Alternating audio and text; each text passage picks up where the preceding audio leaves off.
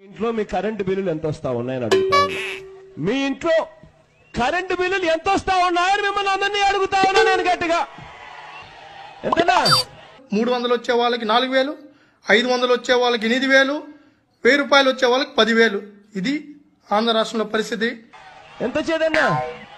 మూడు వందల నాలుగు వందలు వచ్చే వాళ్ళకు వేల వేలలో బిల్లు వస్తే ఎక్కడి నుంచి తీసుకొని వచ్చి కట్టాలి సార్? అక్కడవా ఎంత? మూడు వందలు వస్తుంది సార్. మూడు వందలు వస్తుంది మాకు. మూడు వందలు ఇప్పుడు ప- పద్నాలుగు వందలు పదిహేను వందలు వేసిండ్రు. మూడు వందలు ఇప్పుడు ప- పద్నాలుగు వందలు పదిహేను వందలు వేసిండ్రు. అవునక్క మన వైఎస్ఆర్ కొడుకు ఆడిన మాట తప్పడు.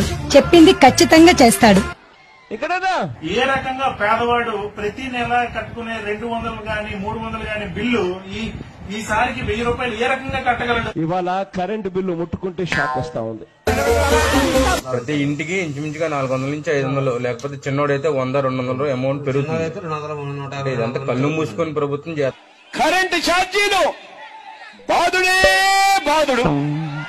ఈ పాటికే ప్రజలు నిత్యావసర వస్తువుల ధరలు పెరిగి అవి కొనుక్కోలేక బతకలేని జీవనంలో ఉండి ప్రభుత్వాన్ని సహాయం అడుగుతున్నారు. ప్రభుత్వం సహాయం చేయట్లేదు. నాలుగు వందలు ఐదు వందలు కట్టేవాడికి పదిహేను వందలు రెండు వేల రూపాయలు వస్తుంది. రెండు వందల యూనిట్ల వరకు మీకు కరెంటు ఉచితంగా ఇస్తామని చెప్పి మీ అందరికీ కూడా చెప్తా ఉన్నా. ఈయన బిల్లు వచ్చి పదహారు వందల ఇరవై రెండు రూపాయలు వచ్చింది. ఇక్కడ మనం క్లియర్గా చూడొచ్చు. ఓ ఏ నెలకు ఆ నెల బిల్లులు తీస్తే నూట యాభై నుంచి నాలుగు వందలు ఐదు వందల వరకు మాత్రమే వీళ్ళకి బిల్లులు వస్తుంటాయి. ఇంత భయంకరంగా ఉంటుందని ఒక గంట ఇంత ఘోరంగా గడుస్తుందని ఊహించలేకపోయాను రా. రెండు వందల యూనిట్ల వరకు మీకు కరెంటు ఉచితంగా ఇస్తామని చెప్పి మీ అందరికీ కూడా చెప్తా ఉన్నా అటువంటిది ఈ నెల మాత్రం వచ్చేసి తొమ్మిది వందల పదిహేను రూపాయలు వేస్తున్నాడు సార్ బిల్లు.